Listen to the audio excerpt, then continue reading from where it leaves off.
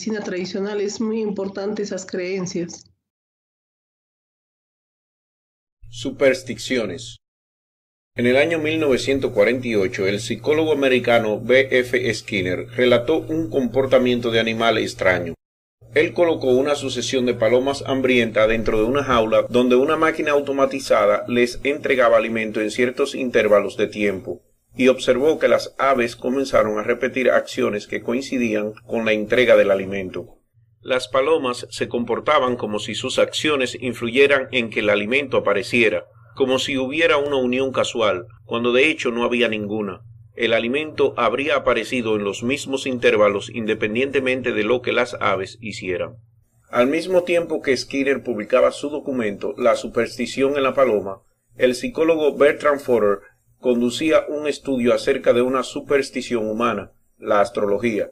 Él dio a cada uno de sus sujetos de estudio una prueba seguida de un análisis de personalidad privado, que él les dijo estaba basado en sus resultados de la prueba. Cuando le pidieron tasar a cada uno de los sujetos sus análisis en cuanto a exactitud, en una escala de 0 a 5, 5 siendo el más exacto, la posición media fue de 4.26. Forer más tarde reveló que todos los sujetos habían recibido exactamente el mismo análisis, tomado de horóscopos en un libro de astrología.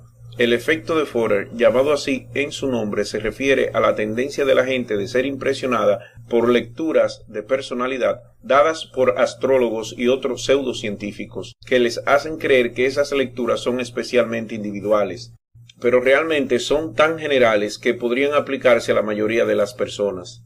El experimento de Forer, que ha sido desde entonces reproducido muchas veces con los mismos resultados, es una demostración importante que la exactitud aparentemente impresionante de horóscopos puede ser fácilmente reproducida sin que los cumpleaños o posiciones planetarias desempeñen ningún papel en su preparación. De acuerdo con otra superstición, un anillo de boda colgado sobre el vientre de una mujer embarazada puede predecir el sexo del bebé, un movimiento circular predice a una niña. Una oscilación de péndulo directa predice a un niño. Este es el mismo mecanismo encontrado en la radiestesia o radomnancia, la creencia supersticiosa que uno puede descubrir reservorios subterráneos de agua u otras sustancias escondidas con varillas en forma de L o con una horquilla. En realidad funciona amplificando movimientos pequeños casi imperceptibles de la mano. Este movimiento de mano es a menudo un inconsciente efecto ideomotor, por el cual las expectativas de alguien le conducen a hacer movimientos involuntarios de acuerdo con aquellas expectativas. A veces las varillas son usadas hasta encima de mapas, que son declarados de alguna manera tener las mismas energías detectables que el terreno que ellos representan. Las predicciones de anillos de boda, la radiestesia, la escritura automática y la actividad del tablero de Ouija o Ouija han sido todas atribuidas al efecto ideomotor, aunque la persona que hace la acción involuntaria pudiera estar convencida que el movimiento viene de otra parte. Por supuesto, a menudo hay tentativas deliberadas de engañar a incautos. La creencia de que podemos ponernos en contacto con espíritus usando tableros de Ouija es una de las innumerables supersticiones relacionadas con la muerte. También muchos programas de televisión procuran dar evidencia de fantasmas y canalización de espíritus. Los espectadores envían videos en los cuales puntos de luz son resaltados como llamadas anomalías fantasmales y las personas autoproclamadas medios declaran que pueden canalizar espíritus en shows donde se pone un mensaje en la pantalla admitiendo que son para entretenimiento solamente. Interesante es que cuando los magos dan a su audiencia detalles por los visto misteriosamente exactos sobre sus vidas y relaciones, la respuesta típica es ¿cuál es el truco que utiliza? Pero cuando los otros hacen lo mismo, haciéndose pasar por medios psíquicos, la respuesta es a menudo que ellos deben tener poderes sobrenaturales. La única diferencia entre el autoproclamado medio y el confeso entretenedor es el estilo de presentación. Si el showman no necesita poderes naturales, tampoco lo necesita el medio. En la quinta temporada del show televisivo llamado Espectáculo Cazafantasma, su medio residente, Derek Acora, se comportó como poseído por el espíritu de Creed Kafer, pero más luego se reveló que este nombre había sido inventado y la desinformación sobre la persona ficticia había sido alimentada a Derek antes del rodaje para probar su integridad. Cuando el rodaje comenzó y Derek se hizo como poseído en el personaje del espíritu inexistente, nunca se dio cuenta de que Creed Kafer era un anagrama de Derek Faker, Derek el simulador. Kafer continuó al canalizar a un bandido de caminos ficticio de manera similar, cuyo nombre era un anagrama de Derek Lies, Derek miente.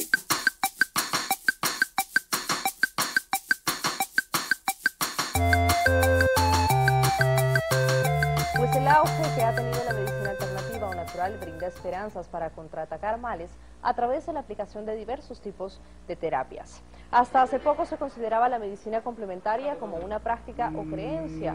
Especialistas afirman que esta medicina alternativa es para todas las enfermedades. Existen casos de tratamientos exitosos de cáncer, artritis, insuficiencia renal, cardiopatía y hasta problemas severos de columna. Sin embargo, eso no quiere decir que sea efectiva para todos. Gran cantidad de personas buscan la medicina complementaria porque no encuentran soluciones en los procedimientos convencionales. En ellas se trabaja con el paciente hasta que las funciones vitales se reactiven y ya no necesiten tantos químicos. Cada vez es más común usar estas terapias no solo para curar, sino para prevenir. No obstante, es importante hacerlo de la mano de profesionales. Muchas supersticiones giran alrededor del tratamiento de enfermedades y muchos quieren que su superstición sea considerada como medicina auténtica. La homeopatía implica preparaciones que han sido repetidas y extremadamente diluidas hasta que son estadísticamente incierto que haya hasta una sola molécula del ingrediente activo presente. ¿Cómo justifican los homeópatas la venta de agua como medicina? Ellos afirman que el agua tiene una memoria de las sustancias con las cuales ha estado en contacto.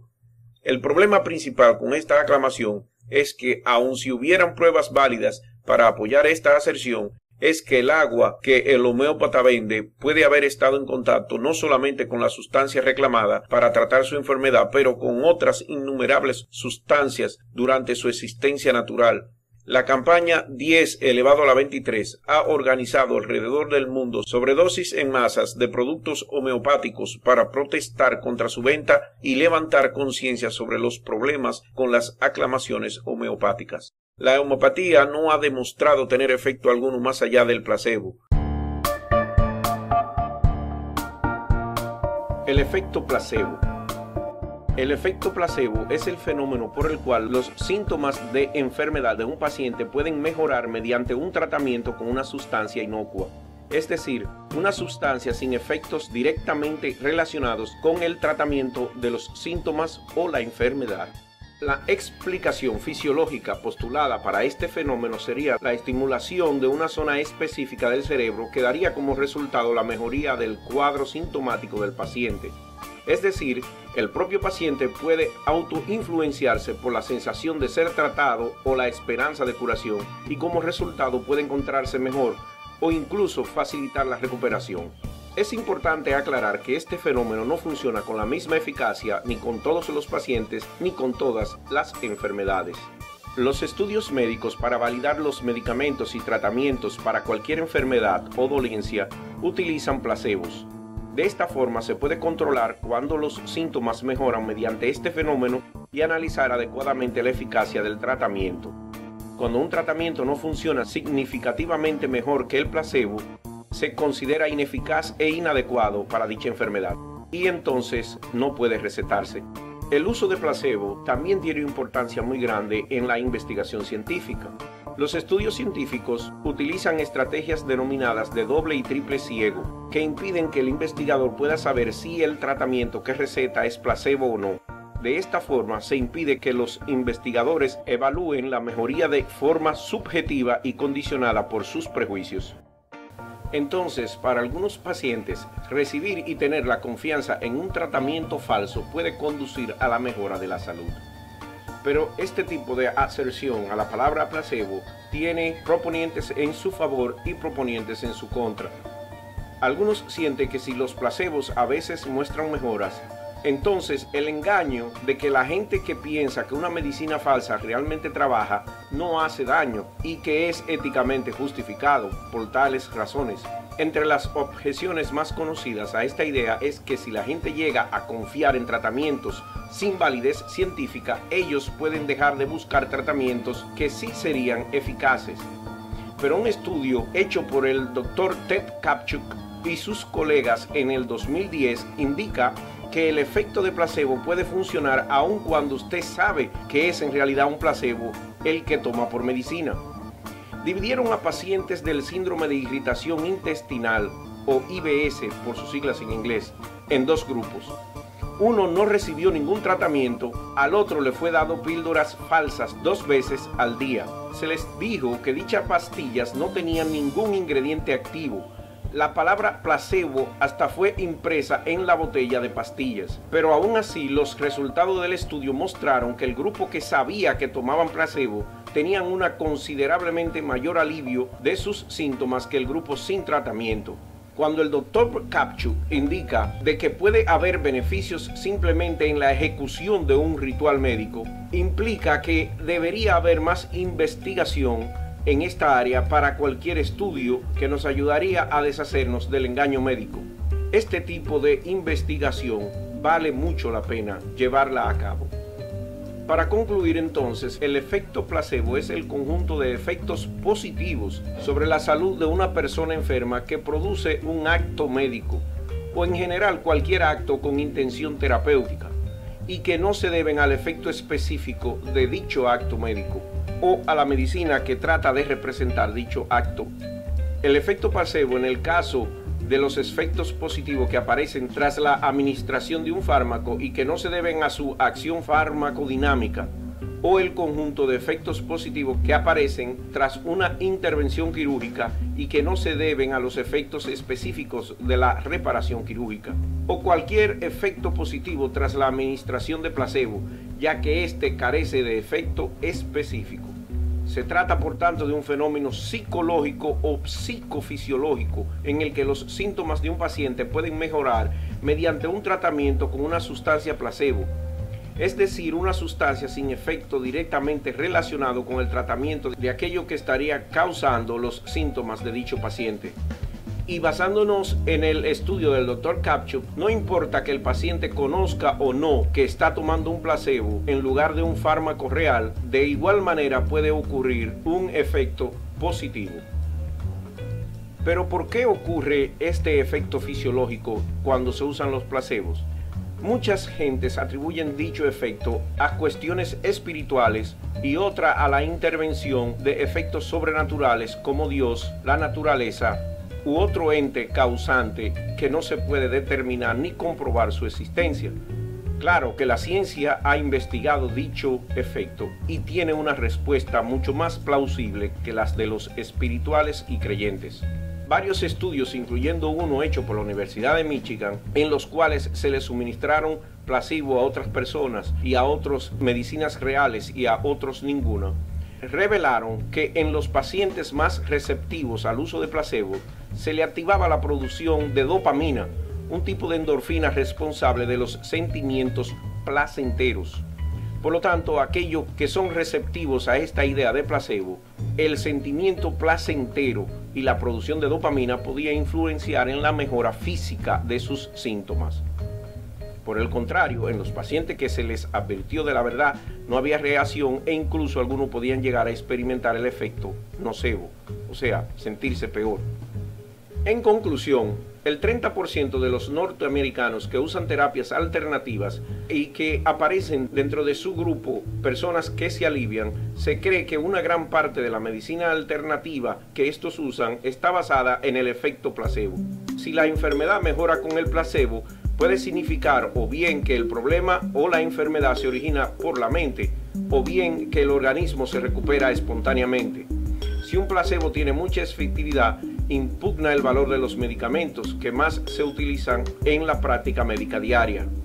El hecho de que un paciente mejore en sus condiciones de una enfermedad debido al efecto placebo no necesita que esta mejora sea atribuida a la intervención de un Dios, lo espiritual o a lo sobrenatural. Sino simple y llanamente a la capacidad del cuerpo de recuperarse a través de su sistema inmunológico o a la influencia química del cerebro al producir dopamina y crear sentimientos placenteros que al final devienen en la mejora del paciente.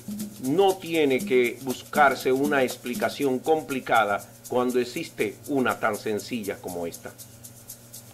Va a haber un como se dice, una relación, interrelación entre el médico con los conocimientos de la medicina científica y el curandero con los conocimientos de la medicina tradicional.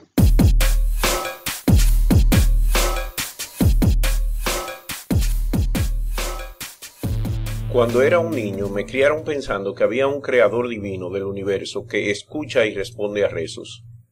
Si yo rezaba y nada pasaba, me decían que debía haber rezado por la cosa incorrecta, o no recé con bastante fuerza, o mi rezo fue contestado, pero de un modo indirecto que yo descubriría más tarde. Finalmente calculé que con este Dios que se movía tan misteriosamente, yo no tenía ni idea de lo que realmente había hecho. Puede que no exista en absoluto. Ana reza para encontrar un parqueo en la ciudad.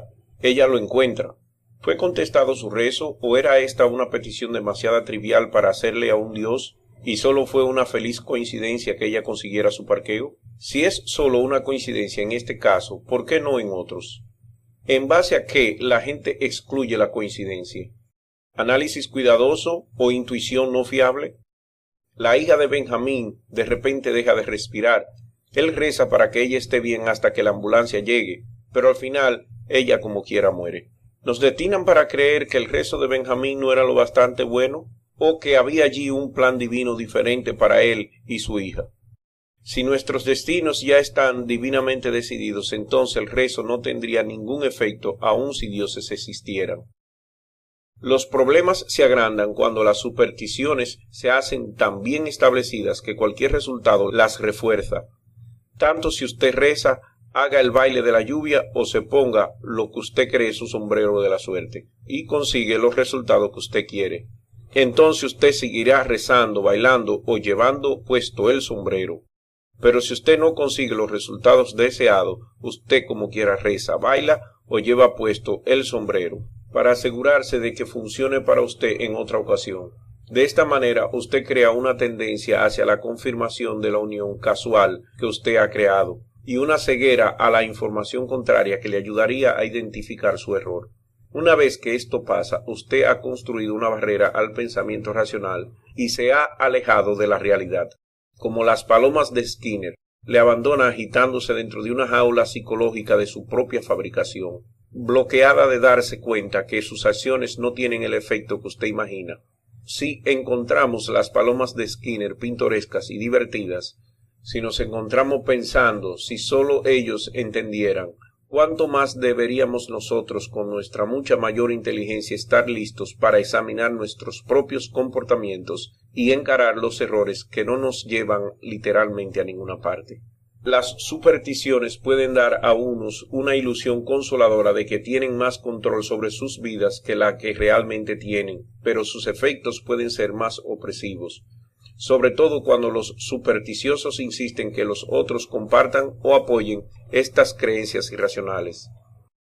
Podríamos conocer a gente cuya reacción cuando ponemos nuevos zapatos sobre una mesa o abrimos un paraguas dentro de la casa es claramente diseñada para hacernos parar el comportamiento desafortunado y así validar su pensamiento mágico. Este es un modo de cómo las supersticiones amplían su hacimiento tiránico más allá de los creyentes, y hacemos bien al resistir esta clase de manipulación. Si algunos son felices dejando que una creencia sin prueba gobierne sus vidas, que así sea, pero ellos no tienen ningún derecho de esperar la colaboración de otros. Cuando usted rechaza la superstición ya no se siente protegido por encantos de buena suerte, pero usted también deja de preocuparse de gatos negros y espejos rotos. La agua bendita no puede bendecirle, pero las maldiciones no pueden dañarle. Los cristales o la homeopatía pueden no mejorar su salud, pero usted también será menos vulnerable a la explotación psicológica y financiera de charlatanes médicos. Usted no puede controlar a la gente con rituales mágicos, pero ellos no pueden hacerle lo mismo. Quizás lo más importante, las fuerzas sobrenaturales del bien y del mal ya no reciben el crédito o la culpa por lo que los seres humanos hacen. En cambio, pueden ser claramente extendido que la gente es responsable de su propia bondad, crueldad, generosidad, tacañería, pereza o hechos. La posesión de la responsabilidad puede dar un sentido de autocontrol genuino, pero sí significa realmente aprender de los errores. Cuando seguimos supersticiones, nuestros errores se nos hacen invisibles porque los hemos mezclado ya con nuestro modo de pensar. Si no decimos que la magia puede solucionar nuestros problemas o librarnos de la culpa para cualquier mal que hayamos hecho, es un viaje más fácil que pensar críticamente o hacernos responsables de nuestras acciones. Pero si el precio es negar la realidad haciéndose temeroso del conocimiento, incapaz de distinguir aclamaciones verdaderas de las falsas, o satanizando la diferencia, vale la pena considerar la posibilidad de que ese paseo fácil le engañará mucho más a la larga. Con un pequeño y cuidadoso pensamiento crítico podremos identificar nuestras propias jaulas de superstición y caminar libres de ellas.